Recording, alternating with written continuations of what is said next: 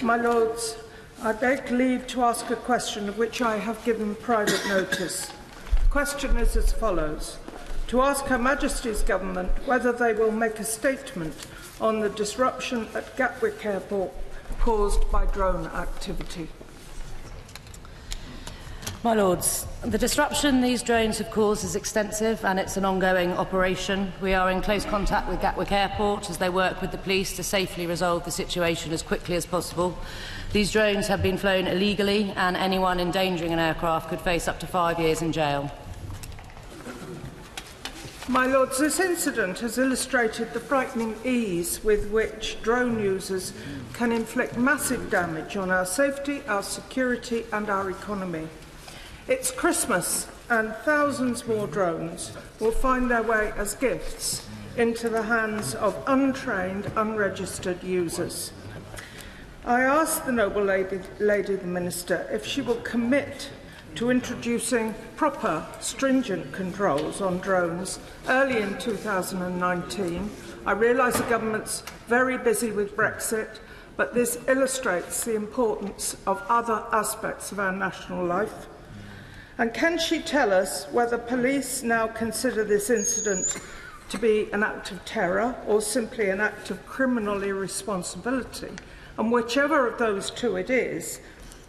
all airports are clearly now at risk. What steps are being taken to prevent a repeat copycat attack? Yeah, yeah. um, My Lords, I entirely agree with the noble lady that we absolutely need to make sure that we introduce new laws uh, to ensure that drones are used safely and responsibly. Early this, earlier this year, we brought in a law which makes it illegal to fly within a kilometre of an airport and also above 400 feet. And actually in November, we are also introducing a registration system which will include a mandatory safety check before you're able to fly your drone. Uh, but as I said, these drones are being operated illegally. I'm afraid I'm not able to give a further comment. It does seem as though they are being being uh, used to intentionally disrupt the airport, but as I said, this is an ongoing investigation. My, lords, my lords, my lords, my lords, my lords, I think it's a front bench response on an urgent question.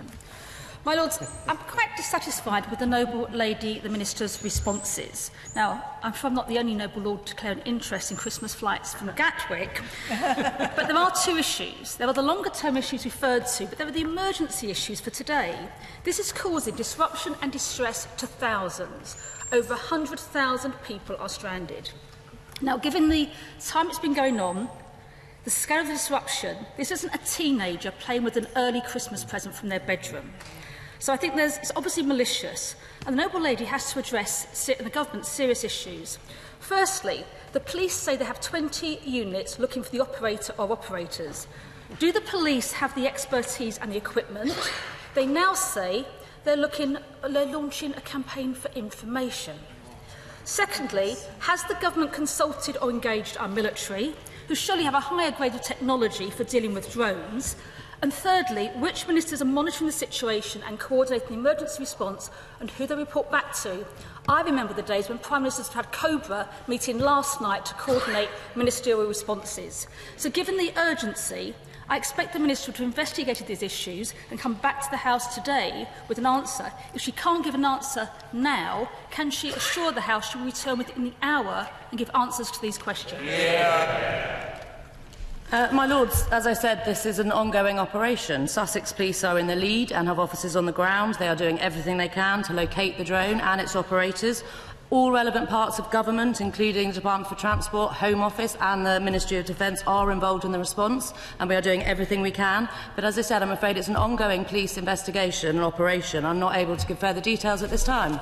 My Lords, um, I declare an interest, first of all, as a pilot, but also as a chair of the all-party parliamentary group on general aviation investigation into airspace in the UK. Uh, we are very concerned with the incursion into airspace by drones at this time. So, whilst I am reassured by my uh, noble friend's remarks, we do feel that there is a matter of considerable urgency uh, that these matters are dealt with and full accountability for drone operators and those that sell drones to the public are now implemented. Uh, my Lords, as I've explained, we did change the law earlier this year, bringing in an exclusion zone around airports, um, and we are absolutely working with manufacturers and retailers to ensure that these new, roles are new rules are communicated with people who purchase drones, um, and from November, people will need to register their drone and take an online safety test. We've also recently consulted on extending police powers, and we'll be making announcements on the next steps on that very shortly. My Lords, my Lords, two years ago, Two years ago, my lords, on the 28th of February 2017, we raised the issue of the existing of jamming signal equipment from these benches operational at a distance of 2,000 feet. And the minister, in reply, said he would take up the, the issue with officials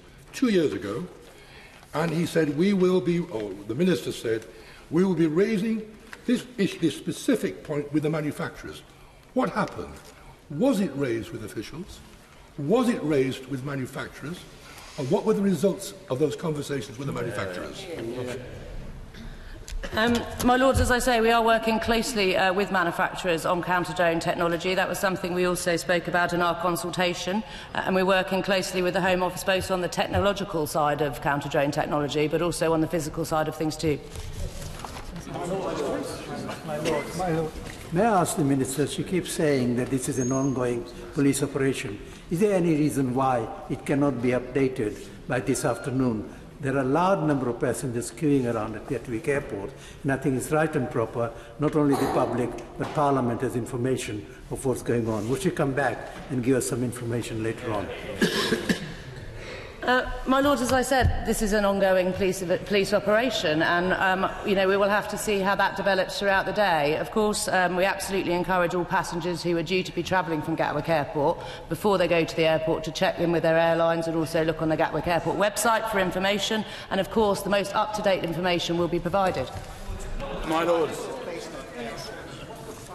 requirements are, what requirements are placed on airports to be ready for these circumstances, will the Minister be checking that other airports are prepared to meet these circumstances should they arise? Um, my Lords, of course, we work carefully with airports on all their operational contingency plans. Um, the priority is, is safety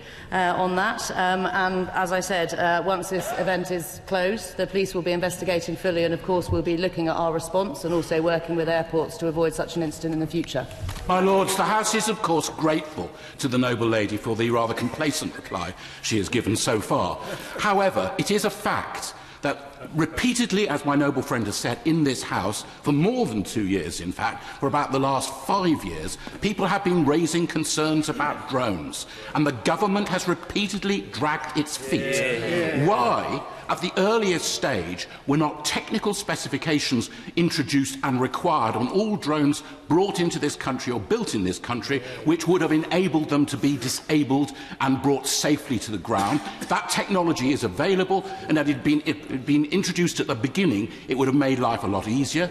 The, to the penalties which have been introduced in, in the middle of this, this year, are quite clearly inadequate, as we've already heard from the noble lord opposite, why does the government persistently drag its feet on these issues?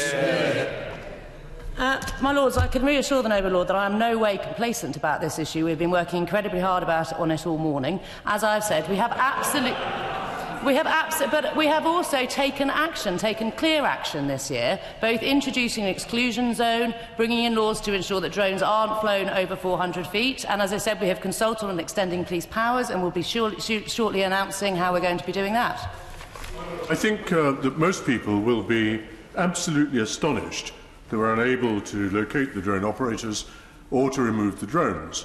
Can the Minister say what rehearsals were carried out for such a drone incursion?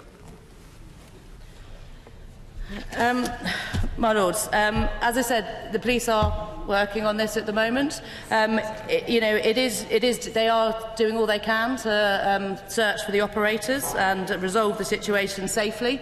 Um, I'm afraid I don't have details for the Noble Lord on the specific rehearsals for this, um, but I will look into that and write to the Noble Lord.